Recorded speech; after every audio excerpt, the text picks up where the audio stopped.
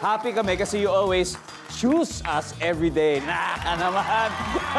Kaya maraming maraming salamat po sa mga nanonood sa atin, hindi lang po sa TV, kung hindi pati rin po sa social media platforms natin.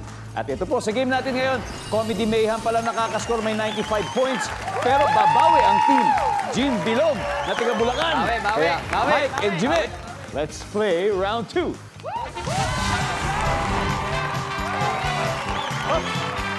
Sandali, baka...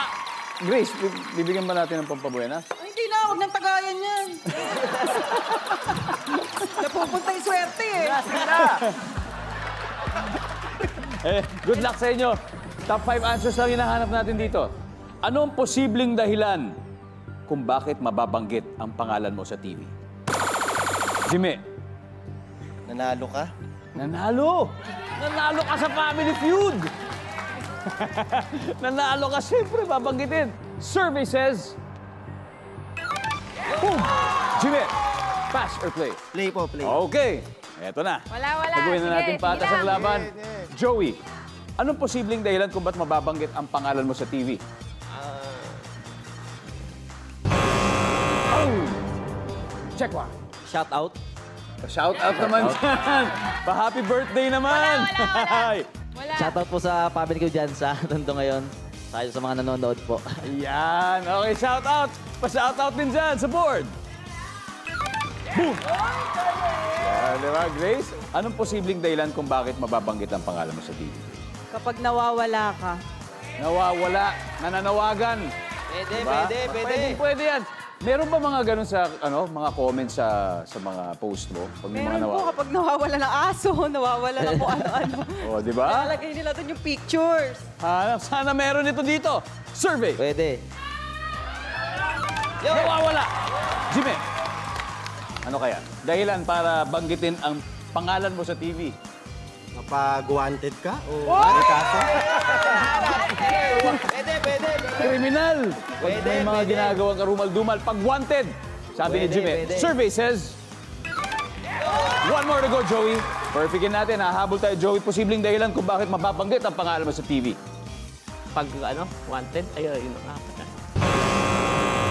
Standby to steal, Comedy Mayhem. Pwede na kayo mag-meet. Pag mali na to, pwede na kayo mag-steal. Check what? Back to you. Ano kaya? Tama yung sinabi mo kanina.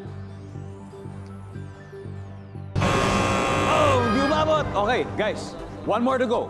Time to steal. Rami, palagay mo. Posibleng dahilan kung bakit mababanggit ang pangalan mo sa TV. Hinahanap ka ng nawawala.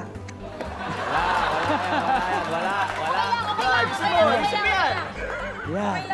But at least naniniwala ka sa sagot mo, di ba? Yun ang mahalaga. Hinahanap ang nawawala. Okay, Gings. Nananawagan sila. Merong ano, apelya, may apelya, nananawagan. Nananawagan. Siya yung nananawagan. Siya yung pumunta. Sa ano, Mike? Ah, ano, pinatay. Ha? Pinatay. Pinatay? Parang obituary. Baga, na news na Biktima, pinatay. na di ba? pinatay. Biktima. Biktima. Wow, eto na. Wala, wala. Ito yung mga sa comedy mayhem. Lumalabas ang pagiging writer talaga nila. Nomer, eto na. Anong posibleng dahilan kung bakit mababanggit ang pangalan mo sa TV? Nabiktima ng krimen. Nabiktima. Tama, tama. Go for Or- it. Go for it. Let's go. Or nabudol. Let's go, let's go. Yan na yun, yan na yun. Pwede ba yan, nabudol? Wala. Nabudol daw o nabiktima. Tapos nananawagan. Parang ganun gusto niya sabihin, di ba? O, survey. Nandyan ba yan? Pakita mo nga. Puno!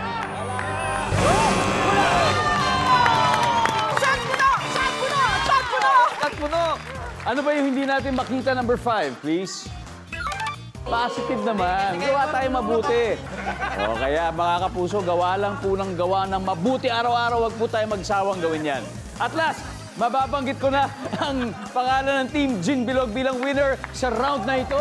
Meron silang 82 points. Pero leading pa rin ang Comedy Mayhem with 95 points.